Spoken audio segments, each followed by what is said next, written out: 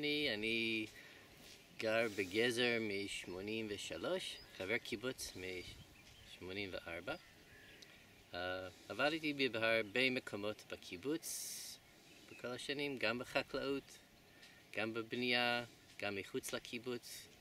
ואני בתפקיד של uh, מרכז ענף הזיתים כבר 17 שנה,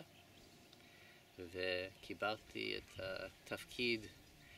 מיאן, מרות ויאן שעבדו פה לפניי, ולפניהם גם עבד שמשון, או פת שנקרא, שהוא שתה את רוב העצים בקיבוץ בשנות ה-80 של גזר, 83, 4, 5, והוא לקח שטחים שהיו קצת שוליים, יותר קרובים גם לקיבוץ,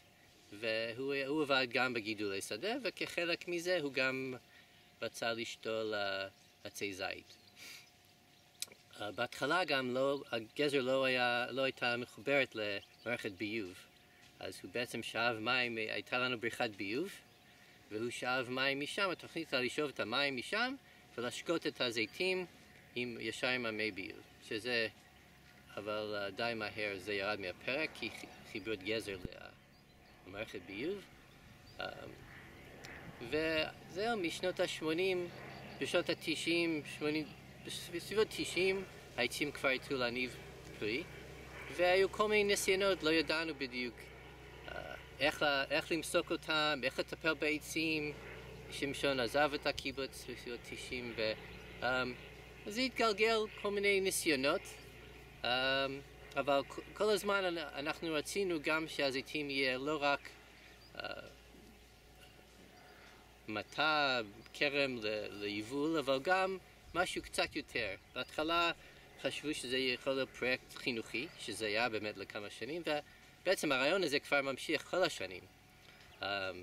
אבל אנחנו משלבים גם חינוך, שילדים כל שנה באים מהגנים ומהבתי בתי ילדים של הגדולים יותר לעבוד וגם ללמוד, ליהנות פה אה, וגם אנשים באים מחוץ לארץ, שזה פרויקט שאנחנו ממשיכים כבר מספר שנים שבהם מתנדבים והם גם לומדים על הארץ, הם גם uh, לומדים על קיבוץ והם עושים את רוב העבודה. Uh, גם כמובן שמצטרפים גם חברי קיבוץ שבאים בשעות הפנאי שלהם, בשבתות, uh, וגם מקבלים הרבה עזרה מענף הנוי. Um, אנחנו גם חושבים שזה, כמו שאמרתי, שזה לא רק ענף רווחי, שאנחנו מנסים שזה גם ירוויח כסף כמובן, אבל גם מעבר לזה, שזה גם משהו שאנחנו שומרים על הסביבה, אנחנו לא מרססים uh, שום חומרי הדברה ושום מסביעה, אבל מעבר לזה גם לשמור על הקרקע, אנחנו לא מהדקים את הקרקע, לא נכנסים כמה שפחות עם מכונות וטרקטורים, וגם נותנים כמה שיותר להסביעה לגדול, שיהיו פה בזמן המסיק אנחנו תמיד מוציאים כל מיני חיות או uh, uh, uh, דברים שחיים איתנו, וזה גם חשוב שזה גם שומר על איזשהו איזון ביולוגי בשטח הזה. אז מאז שנות ה-90 ששמשון עזב, ואז אחרי זה עשר שנים יאן ורות עבדו כאן, ואז בערך בשנות 2000 הם עזבו את גזר לצערי, ואני התחלתי לטפל בזיתים שבאמת עבדתי קצת לפני כן, אבל למדתי תוך כדי, ואני מרגיש שכל שנה אני לומד דברים חדשים, אני גודל יחד עם העצים, ואני כבר חושב על uh, עתיד יותר רחוק, שזה לא רק פרויקט אישי שלי, שזה של גזר, ושגם הדור המשך גם ייחוד זה כ, כפרויקט, uh, כדבר חשוב לקיבוץ,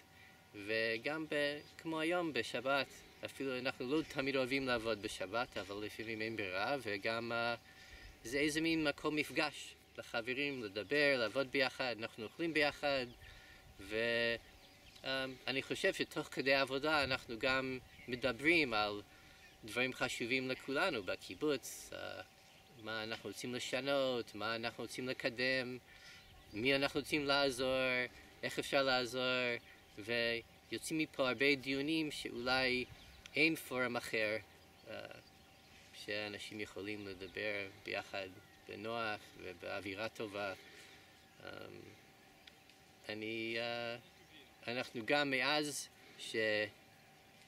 מאז שנות האלפיים אנחנו שתלנו עוד כבערך 150-200 עצים ואנחנו מנסים ש... לא יודע כמה אנחנו רוצים שזה יגדול, אבל לשמור על איזו כמות מסוימת של שמן ושל יבול. אנחנו גם, יש לנו מספר זנים, לא רק זן אחד, כי אנחנו עושים את המסיק ידני, אני חושב שאנחנו, בטוח הקיבוץ האחרון, אולי היישוב האחרון שמוסק ללא מכונות, ללא מנהרות למיניהם. אנחנו עושים את העבודה בעצמנו, עם הידיים, ואפילו שיש לנו 35 דונם של uh, עצים, שזה לא דבר פשוט, אבל uh, אני חושב שזה גם חשוב, זה גם, אני חושב, מייצר שמן יותר טוב, וגם נותן, כמו שאמרתי, אווירה של עבודה ביחד, והכל נעשה עם, ה, עם הידיים. אז יש לנו ארבעה זנים עיקריים, שזה, שזה טוב כי אנחנו, אין לנו יכולת למסוק את הכל ביום אחד או שבוע אחד, זה לוקח בערך שישה שבועות. אז uh, אנחנו מתחילים עם השמללי ואז, והסורי שהם זנים